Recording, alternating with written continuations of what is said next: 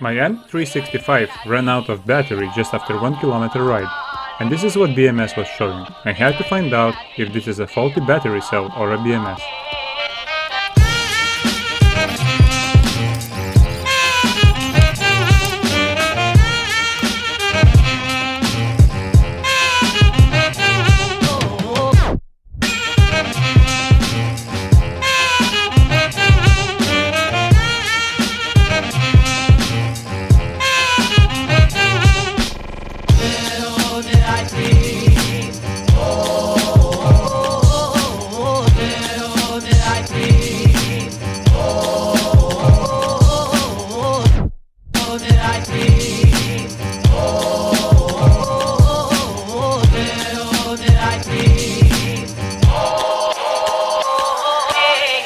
After inspecting all the contacts and finding them being alright, and measuring the voltages and finding them also right, the next thing that could be wrong was BMS.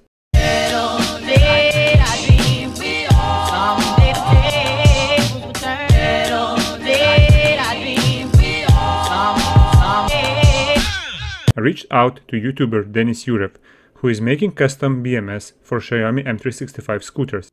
He explained that it would be a faulty resistor but that did not solve my issue, so I ordered new BMS from him, and when it arrived, I installed it back into my battery pack. If you need a high quality BMS, you can reach out to him. I will put the link into his channel into description.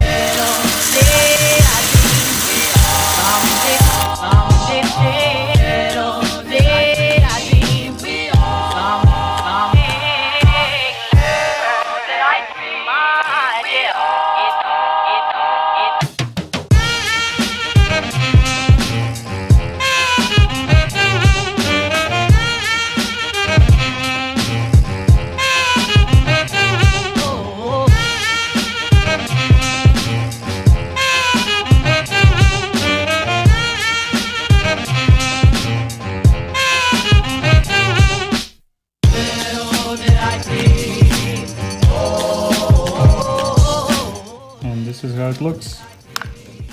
I will use the sealant to seal uh, all the edges here.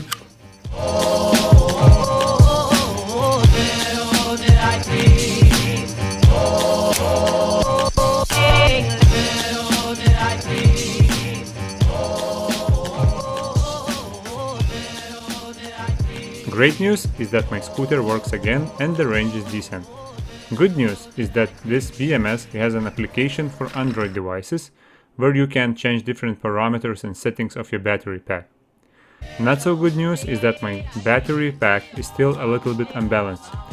Cells 3, 6 and 9 have a little bit lower voltage around 0.1 volt and I try to keep the charger on for 2-3 days and the BMS is not actually balancing them. So I'll need to charge them up manually so that all the battery cells have similar voltage. I hope you enjoyed this video. If you did, give it a thumbs up. If you hated it, give it a thumbs down and let me know in the comments what didn't you like about that. It helps me improve and make my videos better. Thank you all for watching and hopefully I'll see you in the next one.